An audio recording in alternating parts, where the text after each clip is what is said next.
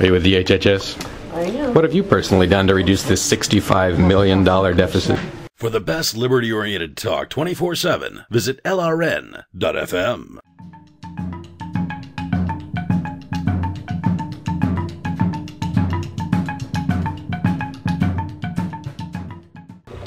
So before a budget committee meeting or some kind of a budget session, you can see quite a few apparent bureaucrats from the Department of Health and Human Services lined up, ready to presumably uh, try and maintain or increase their budgets, but we'll find out when I ask more.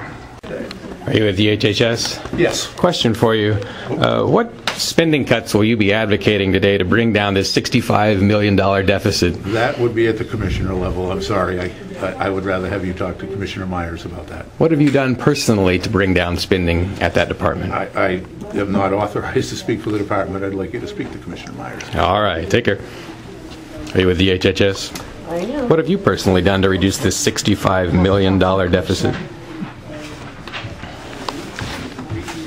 Mr. Valancourt, how are you doing? Are you with the HHS? No, I'm not. What are you here to lobby for or against? I'm just here to see what's going on. Oh, okay. All right, thanks.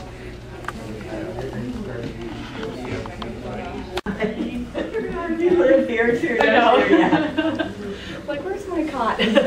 Are you with DHHS? What, yes, I am. Uh, question for you. What have you personally done to help bring down this $65 million deficit?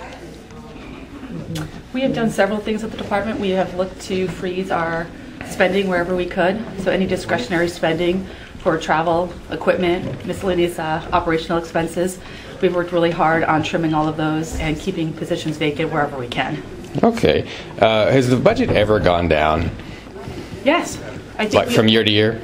I think we have looked at our spending and we've tried to stay within our areas. Are you the commissioner? No, I'm not. All right. Thanks for the answers. You're welcome. Take care. Are you at DHHS? No. Uh, are you are you on the uh, what is it called? The committee commission spending thingy? No. Okay. All right. Thanks. Is the public actually allowed to walk in there and and and and speak out against uh, their funding, or does it have to happen at a different meeting? Not in this, yeah, not in this one. So public can't speak, but bureaucrats can speak. It's because it's a hearing for their budgets. I see. Yeah, but so there we're- there we're is a listening, We're listening to them tell us about their budget, so it's not really a public, it's a public hearing, but it's not a public hearing. If I want to speak against their spending, where do I go and when?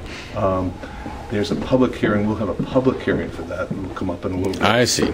So that, there's always that opportunity. Fair enough. But these guys right now are just presenting to the, to the uh, committee itself. Okay, thanks for the answers. Yeah, you're welcome. All right, take care.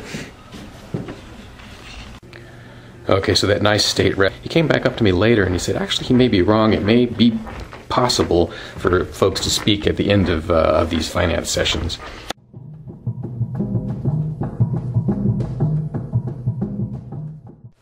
LRN.FM, 24 hours of Liberty Radio every day. Now available on satellite too at sat.lrn.fm. Satellite sounds like. Put it on your unlicensed station. Wear it in your hair. But above all, don't despair. The Liberty message is getting out. And right now, you're missing it. Or maybe you're not. But skip on over to LRN.FM. Feds don't want you to hear them.